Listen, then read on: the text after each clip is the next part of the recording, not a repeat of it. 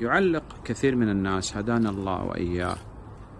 على البيوت رأس ثور أو أعين الذئاب أو حافر أو نعل قديمة أو إطارات السيارات أو بعض الأشجار أو بعض الأصداف اللي تؤخذ من البحر أو الخرق القديمة البالية أو آه، حافر الفرس أو كتابات. حتى أن البعض يعني يكتب كتابات شركية وبعض الأشياء التي هي من الشرك.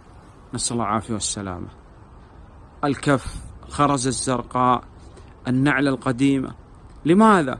قال لأنها تدفع العين تدفع الجن والشياطين. هذا هو الشرك الأكبر الذي بيده جلب المنافع. ودفع المضار هو الله سبحانه وتعالى. وإذا قال هي أسباب. جعلها الله سبحانه وتعالى أسبابا لدفع العين. نقول هذا هو الشرك الأصغر. لأننا بهذا اعتقدنا وجعلنا ما لم يجعل الله سبحانه وتعالى سبب سببا. لا يمكن أن نضع هذه الأشياء على البيوت.